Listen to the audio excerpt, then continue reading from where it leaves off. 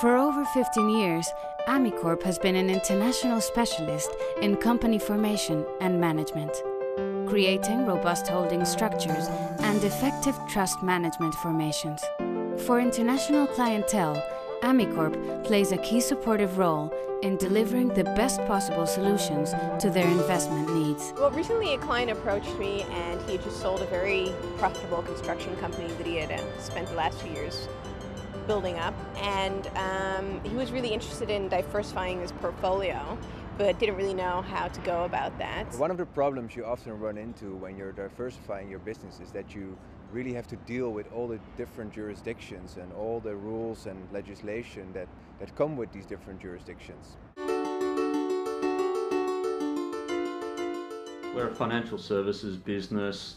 We've got three uh, basic core core areas that we uh, focus on, but if you were to say what, what's the main area, we uh, set up structures and manage them for clients for a variety of business and personal reasons. We are able to um, discuss or sit down with the clients to discuss their needs from stage one and then deal with the implementation um, from the different support that we get from different offices and different um, jurisdictions and also maintain the structures going forward.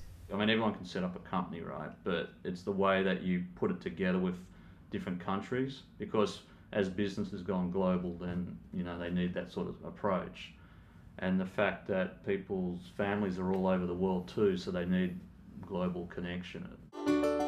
Usually, there will be a point person that will deal with the client, but obviously, the client will know, other than this point person whom he can get in touch with, who are the other persons in the team. So, for example, somebody dealing specifically with tax matters or somebody dealing specifically with um, corporate secretarial matters. Um, yeah, clients will know who's in the background as well.